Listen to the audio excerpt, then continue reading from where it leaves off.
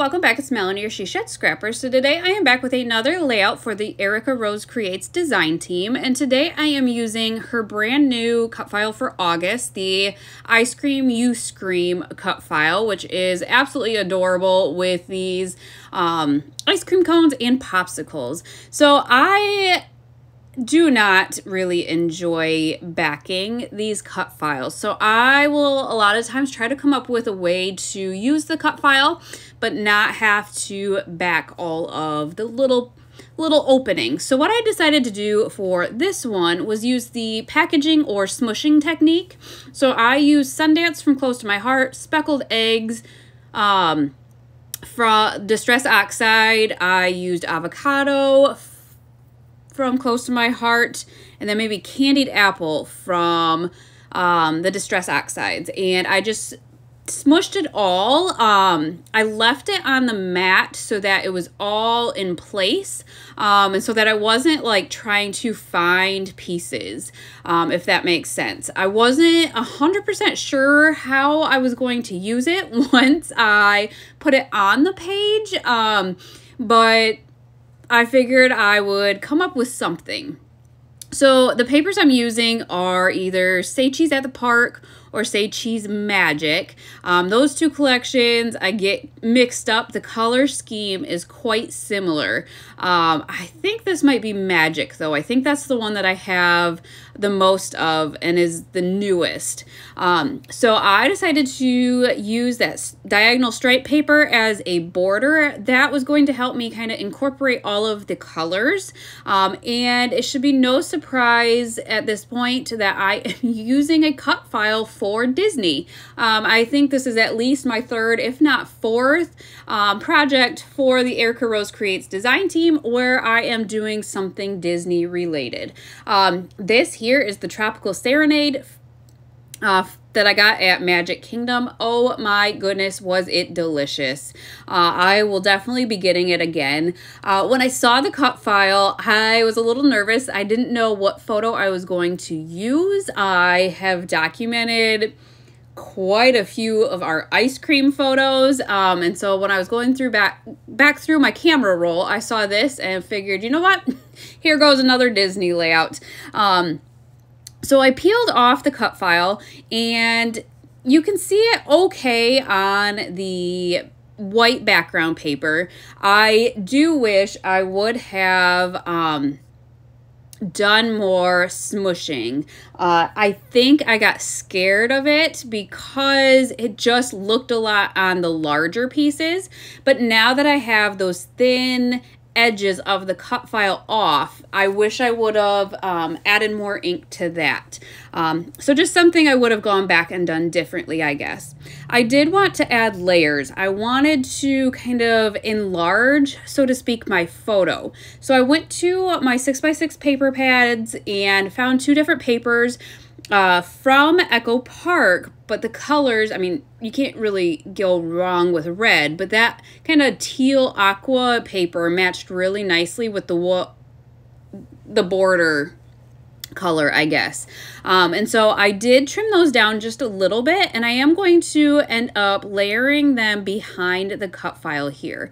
Um, at first I did not tape the cut file down and or glue and that was kind of an issue later on. I make it work but I should have glued it uh, all the way around. I just have a love-hate relationship with my tacky glue um, so I was really hoping to get away from using that um, but with as thin as the edges are, I needed to use glue and not tape. So I did, or I am going to pop this photo up on foam tape. Um, I don't place it down yet because I'm not quite sure how I'm going to embellish um, and I didn't want to commit and then limit my embellishing, I guess. So what I'm going to do is take the middle pieces of the popsicles and I'm going to glue them or place them in all of the popsicles. Then I am going to take the inside pieces of the ice cream cone and I am going to do the same, but when I glue those down, I am actually going to pop both the ice cream and the cone up on foam tape. Um, so I don't make you watch all of that because it was time consuming. But I will use my tacky glue to glue down the popsicle pieces and then just my foam tape to tape down the ice cream cones. Um, while I guess the reason I realized not gluing the cut file down was an issue was when I placed the inside pieces of the ice cream cone down in the inside the cut file kind of rose up to the inside pieces, if that makes sense. And so it really did not give the layout any dimension whatsoever. So now that all of my ice cream cones are on the layout, now I get to kind of have fun embellishing. I did pick some pieces out ahead of time so that really helped kind of speed up the embellishing of this layout. So, you know, I wanted to bring in Mickey somehow, and so I found that black and white polka dotted um, half a Mickey and decided that I wanted to include that. I also have some flares from Scrap and Happy Studio that were perfect. One was a cup of Dole Whip and the other one said treats. Um, and so I wanted to include those as well. And then there was a little ice cream cart. Um, I had two options. One had balloons as well and then the other one was just an ice cream cart. And I chose to use the one that was just the ice cream cart. Uh, I realized at this point that I did not have a title. And so I needed to come up with a way to title my layout. Um, and so what I decided to do was use the ice cream cones um, as kind of a base for my title. And so I added Yum across the page and down the page. And those alphas, I believe, are from the Discover and Create collection from Vicki Boutin. Uh, they've been on my desk and I've been using them a lot lately. But they are colorful and kind of wonky and just really fun to use. Uh, really fun to kind of piece together a title. So once I do that, I am going to commit to the placements of my embellishments and get those taped down. Um, I think just the finishing touches of this layout, I am going to use some Bella Boulevard stars. I am actually going to finish a package of them, which is so fun. Um, it's always an accomplishment, I feel like, when I finish a package of something because it doesn't happen very often. Um, so I am going to eventually get to that.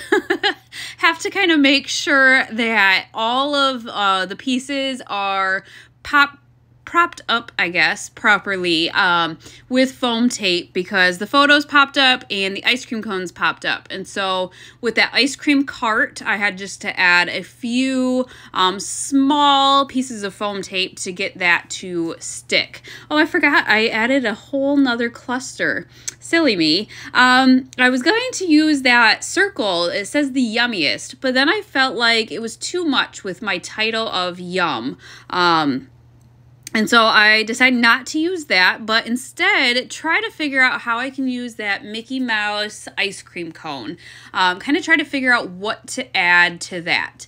I, again, had quite a few embellishments picked out ahead of time, um, but, you know, there's always that, I don't know, you're always in search of that perfect embellishment. And that's kind of how it was with um, adding that ice cream cone at the top. What else can I use to kind of make that a cluster um, make it so it's not just hanging out by itself so um, I have just a I don't know one sheet out of two sheets of these little puffy um, stickers and I decided just to add a small phrase up there.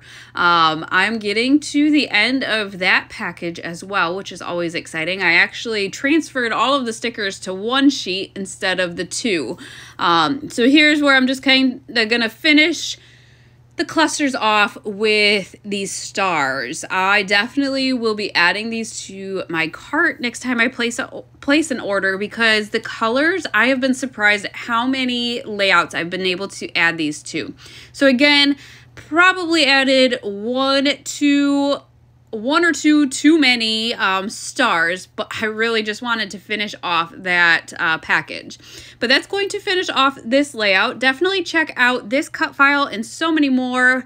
In addition, uh, Erica Rose creates um, has a bunch of scrapbooking kits as well and make sure you use the code Melanie for 15% off your order. I will have her shop linked down below so you guys can take a look at what she has to offer. But I hope you guys enjoyed, and we will see you next time. Bye, guys.